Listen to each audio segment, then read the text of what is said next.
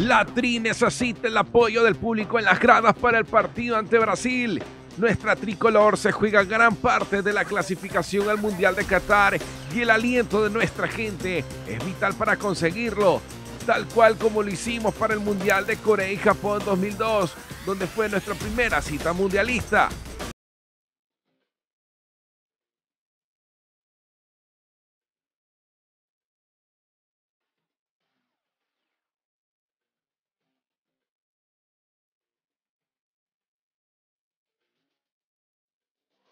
En esta semana la FEF enviará un oficio al COE Nacional para la autorización del público en el Estadio Rodrigo Paz.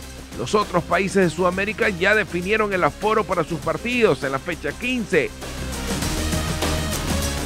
Chile versus Argentina en el estadio Zorros del Desierto de Calama se jugará con el 70% de aforo.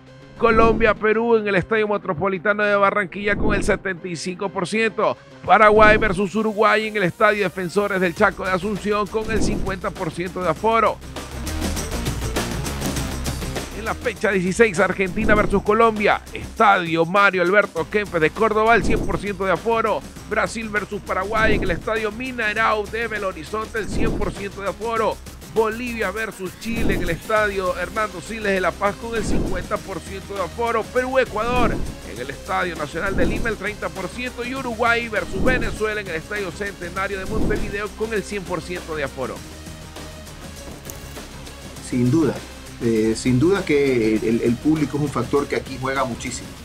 Eh, y si uno revisa hoy, todas las, diez, eh, los 10 países, a excepción de Ecuador, ya han confirmado que hay público. Eh, inclusive Perú cambió la, revocó la, decisión que antes tenía y hoy va a jugar con público frente a Ecuador. Eh, así que eh, espero y confío que el COE sea, digamos que coherente.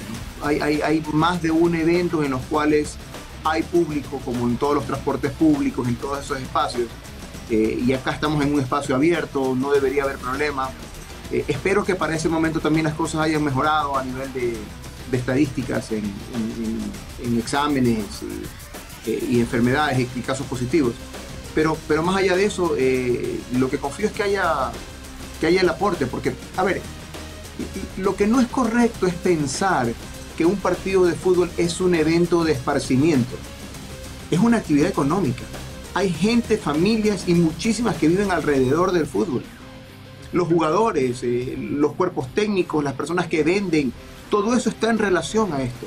Y cada centavo que se genera en este tipo de partidos termina en un partido para nuestra juventud.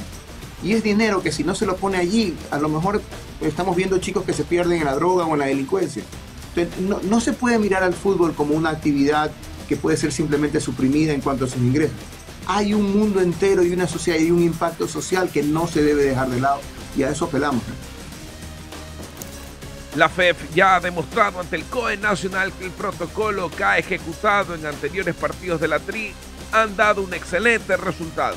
Nuestra clasificación a Qatar debe tener el apoyo de nuestra hinchada, como estuvo presente en el 2002 y 2006. El apoyo será vital en las gradas del estadio Rodrigo Paz.